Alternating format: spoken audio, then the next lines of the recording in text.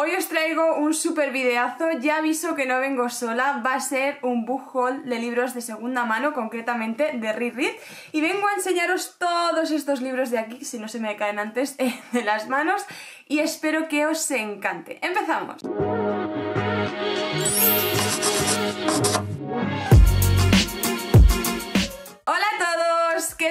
Mi nombre es Jen, esto es Devora Libros, bienvenidos un día más a mi canal. Hoy os traigo un book haul de libros de segunda mano, de libros del Reread, que sé que os encanta. Si no conocéis Reread, eh, es una tienda que está en muchos sitios de, España, eh, probablemente la encontréis en ciudades sobre todo, y es una cadena que eh, ofrece un libro a 3 euros, dos libros a 5 euros y 5 libros por 10 euros, y a partir de ahí todos los libros son a 2 euros, o sea, que es que está de maravilla de verdad porque vais a ver que, eh, vamos, ya he hecho más veces vídeos de estos en el canal, pero vais a ver que se encuentran verdaderas joyas, o sea, es muy fuerte. Y en este vídeo no voy a estar sola, como os comentaba al principio, porque me van a acompañar Laia, de quien te lo ha dicho, y Esther, de Esther Reading, que por cierto, si no la seguís, os dejo por aquí sus canales porque son maravillosos, hacen contenido excelente y os invito a que vayáis a suscribiros. Yo voy a enseñar primero mis libros, que son todos estos de aquí, a ver si no se me caen y puedo enseñarlos, vale, habéis visto por ahí alguno.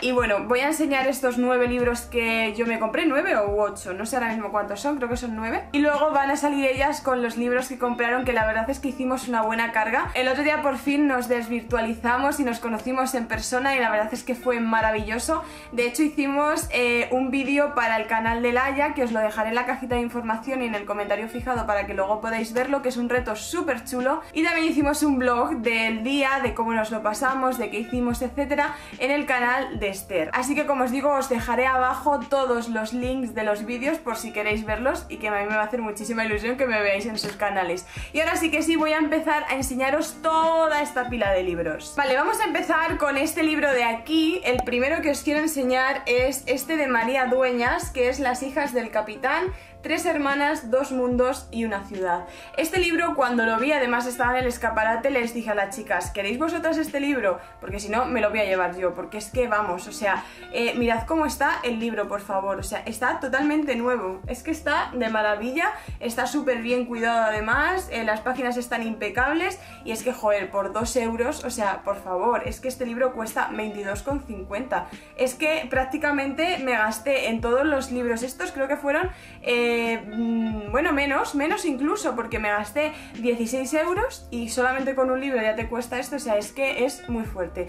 Con 8 libros me gasté 16 euros, es que vamos, increíble. Cogí este libro porque tenía muchas ganas de leer Las hijas del capitán, María Dueñas me encanta y este libro pues todavía no había tenido la oportunidad de leerlo, así que dije, ahora es el momento. Así que bueno, otro libro más de María Dueñas a la lista de pendientes porque vamos, ya os enseñé el otro día, eh, que no sé si habéis visto esos vídeos, pero hice un unhaul, coloqué las estanterías, también os enseñé todos mis libros pendientes y bueno, pues eh, me hace gracia hacer estos vídeos próximos que vienen porque vais a ver este, pero vais a ver otros vídeos más eh, próximamente de bujo, de libros también de segunda mano, etcétera. Entonces me hace gracia porque coloqué hace literalmente unos días las estanterías y ya están llegando más libros nuevos, pendientes y yo ya no sé dónde los voy a meter y eso que los tengo mm, colocados todos. Así que bueno, espero portarme bien los próximos meses porque estos sí que me entran, pero es que ya como empiece a comprarme más y más y más, va a llegar un momento que no voy a poder con ellos. Voy a ir dejando aquí los libros que os voy enseñando, ¿vale? El siguiente que os voy a enseñar es este libro de aquí, El día que se perdió la cordura de Javier Castillo. Eh, este libro eh, no lo tengo, o sea, no sé si veis, eh, aquí están los libros, ¿vale? De Javier Castillo y me faltan El día que se perdió la, cordura y El día que se perdió el amor. Y cuando vi este dije, vale, me lo tengo que llevar. Es verdad que yo quiero tener la edición grande para que sea igual que los otros y para que estén todos iguales, pero bueno, a falta de pan, como se dice en mi pueblo, buenas son tortas.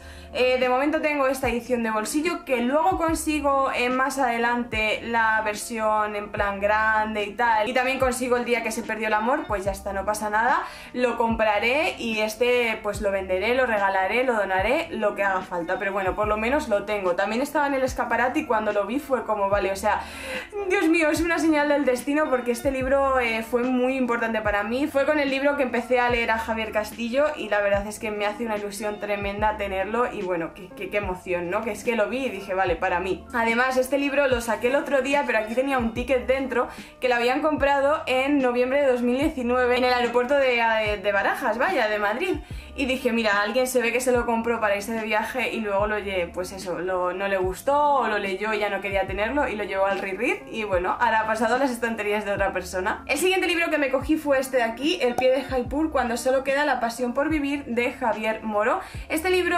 eh, estábamos mirando las tres por las estanterías y tal y creo que fue Esther que me dijo, tía, yo creo que este te va a gustar. Y nada, lo cogí y la verdad es que leí la sinopsis y dije, pues oye, me lo voy a llevar. Además es un libro cortito, es un libro así ideal para este verano, para un rato que estés en la piscina o lo que sea y no quieras tal, y de tapa blanda que es muy fácil de llevar a cualquier sitio. Así que lo cogí, tengo bastantes libros pendientes de Javier Moro, así que a ver si me pongo, tengo Pasión India, tengo también, ay, ¿cómo se llamaba el otro que tengo pendiente suyo? El Sari Rojo, y bueno, pues ya está, a ver si lo leo y os cuento qué tal, pero vamos, este libro está un poquito, a ver, no es que esté peor, pero sí que se nota que pues no sé, están las páginas un poco más amarillentas y tal, que a mí eso la verdad que no me importa. Así que bueno, si habéis leído algo sobre este libro ya me contaréis porque nunca había escuchado hablar de él. El siguiente libro que me cogí es este de aquí que eh, no tiene la cubierta de fuera, pero me da un poco igual la verdad, y es La mujer en la ventana de AJ Finn. Este libro, vale, no sé si está del revés o no está, vale, así, este es. Eh, este libro lo cogí porque tengo muchas ganas de leerlo, me lo habéis recomendado un montonazo, o sea, creo que va a ser un thriller que me va a encantar y la verdad es que el libro en sí está súper, súper, súper bien, además letra grande, bastante espaciada, eh, mm, los párrafos están también genial, eh, en fin, que son de ese tipo de libros que a mí me gustan. Así que lo cogí porque ya os digo, a pesar de no tener la portada de fuera, lo que importa es el libro, ¿no? Y por dos euros es que está genial, es que está totalmente nuevo. Así que bueno, pues muy contenta también, muy muy feliz de, esta compra porque ya digo, es un libro que tengo muchas ganas de leer, a ver si tengo tiempo y hueco para leer todo los pendientes, que claro, el otro día os hice un vídeo de mis eternos pendientes que os lo voy a dejar por aquí arriba por si queréis verlo, pero es que ya han aumentado más, o sea, voy a tener que hacer otro vídeo de actualización de pendientes cada mes, porque vamos. El siguiente libro que os quiero enseñar es este de aquí, La piel dorada de Carla Montero. Es otro libro que la verdad que me gustó muchísimo encontrarme, llevo mucho tiempo queriendo leer a Carla Montero y la verdad es que cuando vi este libro y vi lo bien que estaba, es que mirad cómo está, está súper, súper, súper bien. Quizá esto lo tiene un pelín roto, no sé, ay mira, tiene un marcapáginas dentro Se ve que alguien se lo leyó, mira Es además del reread, bueno, a lo mejor alguien lo ha metido. Eh, Y bueno, pues eso que, mm, que, está muy nuevo y que dije, a esto aquí no se puede quedar Si habéis leído este libro, porque no, no sé muchas opiniones de él Dejádmelo también en comentarios. Y bueno, pues que, que no sé, que es que, que, pasada, ¿no? O sea, libros de tapa blanda a dos euros Qué maravilla, de verdad. Luego también eh, tengo que enseñaros este de aquí, o sea, qué maravilla. Llevo viendo este libro, vamos, muchísimo tiempo, mucho, mucho, mucho, mucho, mucho tiempo. Lo he visto recomendado, lo he visto en redes sociales, lo he visto en todos sitios, de verdad, era como que me perseguía y dije, vale, lo tengo que leer. Eh, se llama Los desorientados de Amin Malouf y bueno, si habéis leído también este libro, como con todos los que os estoy diciendo, dejadme en comentarios qué, os pareció, si merece la pena, etcétera. Pero vamos, este igual, es que está muy nuevo, además está muy bien eh, conservado, eh, es que parece que lo acabamos de, comprar de la tienda, de verdad. Y bueno, se me olvidó decir una cosa, que estos libros los compramos eh, Laia, Esther y yo en el Read de Martínez Campos. Así que bueno, si pasáis por allí, eh, está Miguel, que es súper majo, de verdad, o sea, nos lo pasamos genial con él, es un crack, de verdad. Así que no dudéis en pasaros por allí. Y bueno, es que aparte de lo majo que es él, es que tiene librazos como este, entonces todo en uno, todo en uno, chicas y chicos. El siguiente libro que me cogí es este de aquí. Este fue recomendado por el chico de Reread porque le pregunté que si tenían algún libro eh, sobre Islam, sobre el yihadismo, sobre, no sé, cosas así, en plan de estas cosas que sabéis que me gustan a mí leer. Y eh, buscando, buscando, buscando, encontró este libro y me dijo, pues mira, este tal, te lo podías llevar. Y la verdad es que me llamó bastante la atención, no tenía ni idea de este libro, nunca había escuchado hablar sobre él y es eh, Pakistán en el punto de mira eh, de Estados Unidos, el duelo de Tariq Ali. Y dije, oye, pues ¿por qué no? Voy a darle una oportunidad, tiempo hay pues de que vuelva a otro reread, ¿no? Y la verdad es que le estuve echando una ojeada allí en la tienda y pinta bastante interesante. Es un libro que no, ya sabéis que no es novela ni nada así, es más ensayo, más eh, tipo de estudio, como siempre os digo, pero hay gente que me seguís que también os interesan estos libros y yo encantadísima de leerlos y de recomendároslo o no recomendároslo. Así que bueno, cuando lo lea os comentaré qué tal porque la verdad es que tiene súper buena pinta y Pakistán es un país que desde no hace mucho tiempo eh, me interesa, pero es verdad que eh, desde que conozco Pakistán es como que cada vez me interesa más, más y más y más y tengo muchas ganas de, de conocer más el país. Así que encantada de tener este libro en mis estanterías. Y el último libro que cogí yo, pero no os vayáis todavía porque quedan los libros que os van a enseñar Laia y Esther, fue este libro de aquí, de Blue Jeans, Buenos días princesa, que es la primera parte del Club de los Incomprendidos. No lo vais a apreciar, pero justo aquí detrás de mí tengo la eh, segunda y la tercera parte de, este, de estos libros Vale, a ver si los puedo coger. bueno, tengo eh, la segunda parte, como os digo, la tercera parte y también el diario secreto de Mary. Entonces, ahora ya sí que sí tengo todos los libros, que estos libros los leí hace mil años y a lo mejor a día de hoy no sé si me gustarían, si no me gustarían. Yo sé que Blue Jeans es súper recomendado para adolescentes y para eh, libros juveniles y tal, son geniales. Y ahora ya tendría la colección completa que los, además, estos de aquí me los compré también de segunda mano o me los envió librería Alcana o algo así y la verdad es que, pues, joder, ahora tengo toda la colección, están súper nuevos además y que me encanta, vaya. Así que súper contenta. Lo vi también en las estanterías y dije, vale, para mí ya tengo la colección completa porque me faltaba el primero. Así que ahora van a salir Laia y Esther hablando sobre eh, sus libros. Espero que os gusten también sus libros, eh, podéis comentar aquí abajo que luego ellas os leerán de qué os han parecido sus libros, de si les recomendáis o no leer esos libros. Si los habéis leído también dejad por abajo vuestras opiniones y nada, que no me rollo más, os dejo con las chicas, espero que disfrutéis de sus libros. Hola a todos, ¿qué tal estáis? Bueno, me cuelo aquí un poquito en el vídeo de Jen, gracias Jen por dejarme colarme en tu espacio, porque vengo a enseñaros los libros que tengo aquí justo, cuál fue mi botín que me traje de la librería Reread de General Martínez Campos, que como ya sabréis y habréis visto en el resto de vídeos, estuvimos allí haciendo unas cositas y quedó súper chulo. Voy a aligerarme un poco porque son unos pocos y no creo que Jen quiera tener un vídeo en su canal de muchísimos minutos, así que vamos al lío. El primero que cogí fue este que se llama El Anillo, la herencia del último templario de Jorge Molist Molist, sí, que la verdad me llamó mucho la atención porque a Alex le encantan las cosas de templarios, la historia de templarios y tal.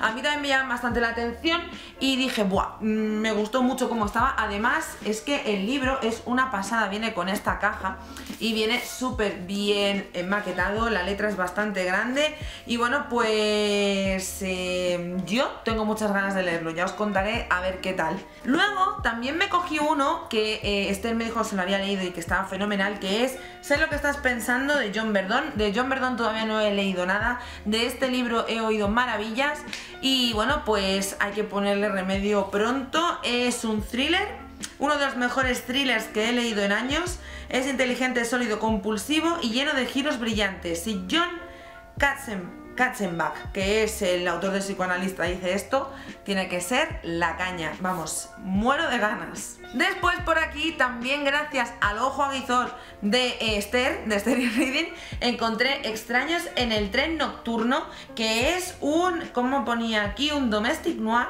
una novela de género que lleva el thriller al ámbito doméstico. Eh, cuando menos te lo esperas, tu esposa se puede convertir en una extraña. Estoy viendo aquí que pone también además, dos desconocidos se encuentran en un tren y solo uno llegará a su destino. Mm, ¿Hola? Me Por recomendación de Miguel, el regente de Reread, me traje el fuego de Catherine Neville, que es la segunda parte de El 8. El 8 lo tengo en mis eternos pendientes, pero eh, tengo muchas ganas de leerlo, tanto la primera parte como esta segunda. Así que de este no os puedo contar nada porque ya sabéis que yo no soy de leer sinopsis, y menos si son segundas partes, así que luego me fui yo por ahí vigilando y mirando cositas y me encontré esta maravilla que son los crímenes del monograma de Sophie Hanna, que ya sabéis que es la que se quedó con los derechos para seguir escribiendo novelas con Hercule Poirot, ¿vale? Después de la muerte de Agatha Christie, pero tenía que seguir eh, la condición de la familia, por lo que leí, era seguir escribiendo bajo la firma de Agatha Christie con X premisas, bueno, con unas pautas, digamos, ¿vale? Y bueno, pues a ver, ¿Qué tal? La novelista más vendida de todos los tiempos, el detective más famoso del mundo, el acontecimiento literario del año. Vamos a ver qué nos depara Sophie Hanna, a ver si ha cogido las riendas de Agatha Christie fuerte y, y bien, claro. Otro libro que también me recomendó Jenny, que estaba allí en el escaparate, y yo le había echado el ojo desde que estábamos ahí esperando a Miguel, era El apicultor de Alepo. Es imposible no sentirse conmovido por este llamamiento a la humanidad, según The Guardian. También es de Maeva. Eh, aquí nos pone dos líneas. En medio de la guerra encontró el amor, en medio de la oscuridad encontró coraje, en medio de la tragedia encontró esperanza. ¿Qué encontrarás tú en esta historia? Pues es lo que me gustaría saber a mí, a ver qué voy a encontrar yo en esta historia, así que ya veréis el wrap up cuando lo lea y os cuente. Tiene unas 300 páginas, no llega, y bueno, pues este caerá en breve, ya os digo. Otro que cogí y este le dimos 33 vueltas, pasó por allí 33 veces y yo no sé si sale incluso en mi vídeo, que es Zara y el librero de Bagdad. Zara, pero no Zara de la tienda de ropa, ¿vale? Una bomba estalla en Barcelona en 1938. Un misil destroza un dormitorio en Bagdad, 60 años de diferencia. Distintas guerras, las mismas víctimas, el mismo exilio. ¿Estamos condenados a repetir la historia? Fernando Marías, la literatura como compromiso. Pues ya os contaré a ver qué tal. Y bueno, mm, el libro es eh, fenómeno. El siguiente libro es uno que vi dos veces, no solo una, dos en diferentes sitios, eso sí, y es Los crímenes del número primo de Reyes Calderón. Del libro sé poca cosa, la verdad es que me llamó la atención que la protagonista es una jueza que se llama Lola, que se encuentra en el caso más difícil de toda su carrera. Eh, se encuentra a dos cadáveres con vestimentas clericales y bueno, pues tiene que ir buscando, bueno, tirando de pistas y tal, el juez, eh, bueno, la jueza en este caso, el equipo de investigación, creo que también hay por ahí un arzobispo metido en el sarao, sí, están en una investigación y la única manera de dar con el asesino es un número primo. Así que, pues nada, mmm, conflictos matemáticos y cosas de estas, mmm, crímenes, esto me gusta, estas son mis cositas. Así que ya os diré a ver qué tal y a ver si os lo puedo recomendar o no. Y ya por último, el último libro, sí, es el último libro que me traje de Reread es eh, Acrópolis de Valerio Máximo Manfredi, la historia mágica de Atenas. Esto os lo cuento rápidamente, para los que hayáis visto mis vídeos antiguamente hice un eh, tour por las estanterías y tengo prácticamente todos los libros de Valerio Máximo Manfredi porque a Alex y a mí nos encantan. Este no había oído ni siquiera hablar de él, o sea, yo voy teniendo, tenemos unos cuantos, ahora me he dado cuenta que no todos, y bueno, pues a Alex y a mí que nos gusta mucho la historia de Grecia y Roma, a él más Grecia, a mí más Roma, pero bueno, eh, este hombre para mi gusto escribe muy bien, así que nos leeremos esta novela de este autor que a los dos nos gusta mucho. Y bien, esos son todos mis libros, ese es mi botín de Reread y de nuevo muchas gracias Jen por dejarme colarme aquí y enseñar mis libros y nada, que nos vemos por las librerías, sobre todo en la Reread de General Martínez Campos. Ya sabéis, saludad a Miguel de nuestra parte. ¡Chao! Hola, ¿qué tal? Mi nombre es Esther de Esther Reading, tanto en Instagram como en YouTube. Y bueno, vengo a colarme aquí en casa de, de Jen, desde mi casa, en su vídeo, en su perfil, en su canal, para haceros un book haul de esos libros que me he llevado de Read. Y ya os adelanto que tengo auténticas joyas, pero auténticas joyas. Eh, la primera, que es de Ediciones Molino, es Muerte en la Vicaría de Agatha Christie. Este, pues eso, es famoso, no tengo mucho que decir de, esta señora. Que, tenía muchas ganas de este y de 10 negritos, pero 10 negritos no estaba, así que bueno, eh, me he llevado muerte en la vicaría y tengo además uno de esta misma edición, así que genial. Sigo. Este libro me hace mucha ilusión porque me leí la primera parte hace tiempo, que es el Club de los Viernes, y la segunda parte se llama El Club de los Viernes, se reúne de, nuevo y está escrito por Kate Jacobs y está publicado por Maeva Bolsillo. Eh, disfruté mucho de la primera historia, no voy a meterme en detalles a contaros mm, mucho de este libro porque probablemente haya algún spoiler, probablemente, con toda probabilidad, mm, siendo una segunda parte, al final se cuelan cosas. Pues este es realmente em, esa segunda parte y tengo muchas ganas de leerla. Creo que empezaré a hacer una relectura de la primera parte y luego ya me meteré en profundidad con la segunda parte para llevar la historia más fresquita y la verdad es que como es una historia tan emocionante creo que merece mucho la pena. Sigo y lo hago eh, con otro libro que se llama Desde mi cielo de Alice Sebol. Em, esta es de, de bolsillo, pone que es un bestseller, es que claro, con el aro de luz y dice, cuando conocemos a Susie Salmon sabemos que ya está en el cielo, en su nuevo hogar. Desde allí nos va a relatar con la inconfundible voz de un adolescente de 14 años una historia tan inquietante como alentadora, la de su propio asesinato a manos de un vecino y el proceso de recuperación por el que van a tener que pasar sus seres queridos. Tras su muerte, Susie contempla cómo la vida continúa sin ella. Sus compañeros de colegio rumorean sobre su desaparición. Su familia mantiene la ilusión de encontrarla con vida y el asesino se esfuerza en borrar las huellas del crimen. Pues eso es un poco lo que nos vamos a encontrar en esta historia, que, creo que tiene muy buena pinta y probablemente me acabe encogiendo el corazón. Así que ese es Desde mi cielo. Que ese creo que me lo ha recomendado Jen. Este es La isla de Alice de Daniel Sánchez Arevalo. Hay peli de este. Este está por Bucket y aquí lo tenéis. Y, este es una peli, así que tampoco creo, creo que es bastante conocido. Yo estoy un poco que no he visto la peli ni nada, así que creo que me voy a leer primero el libro y luego eh, lo mismo le doy una oportunidad a la película. No lo sé, ya os contaré. Esto es finalista del Premio Planeta 2015. Eh, dice, la isla de Alice oscila entre el thriller y el viaje emocional, una historia de superación y una peripecia absorbente y cautivadora pues este. Sigo y lo hago de la mano de Svetlana Aliechevi. Este también me lo ha recomendado Jen, es un ensayo y dice La guerra no tiene rostro de mujer. Es este libro de aquí. Y bueno, eh, aquí nos van a hablar acerca de unas mujeres que han quedado relegadas al olvido que también combatieron durante la Segunda Guerra Mundial. Eh, supongo que Svetlana habrá recogido testimonios y pues todas las vicisitudes que han tenido que pasar estas mujeres y, y aquí vamos a interesarnos un poco y aprender un poco sobre todas esas historias que han quedado en el olvido o de las que por lo menos yo no tengo ninguna constancia. Y como la Segunda Guerra Mundial es un periodo que, aunque me duele mucho leer sobre él y me da mucha pena que haya ocurrido, es verdad que es un periodo sobre el que me gusta leer, así que creo que lo voy a disfrutar mucho. Ya te contaré, Jen, que de este eres culpable. Queda la mitad, quedan cinco. Eh, vamos a uno que es precioso, y es El laberinto de la rosa de Titania Harding. Este es de suma de letras, es espectacular.